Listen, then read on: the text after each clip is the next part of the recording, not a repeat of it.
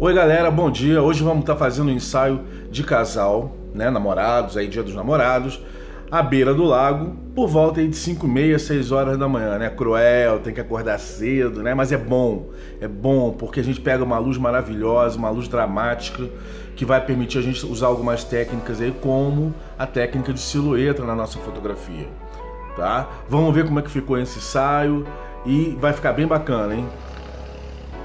Ó, tô fotografando aqui com ISO 100 com pouca luz, né?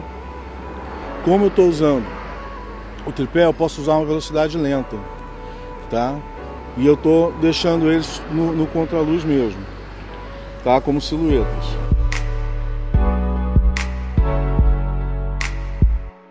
Eu vou tentar iluminar os dois, né? Devo perder um pouco o fundo aqui.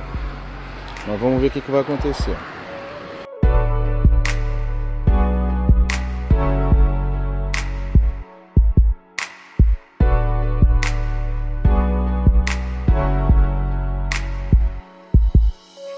Galera, vou falar um pouquinho rapidinho de tripé aqui. Como vocês, eu falo sempre, é legal você às vezes juntar um dinheirinho, comprar um tripé profissional melhor, que vai te possibilitar algumas coisas, do que sempre o mesmo tipo de tripé, aqueles tripés amadores bem baratinhos.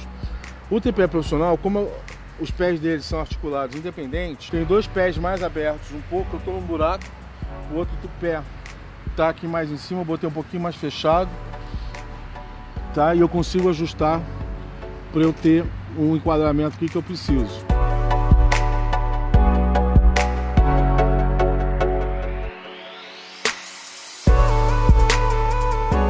Fotografar, a gente tem que se divertir também, tá? Então não dá para fazer um negócio tenso, não. A gente fica tenso com o horário, com, com o nascer do sol que é rapidinho e tudo mais, mas tem que se divertir porque facilita aí pro casal que está sendo fotografado, facilita pro fotógrafo também.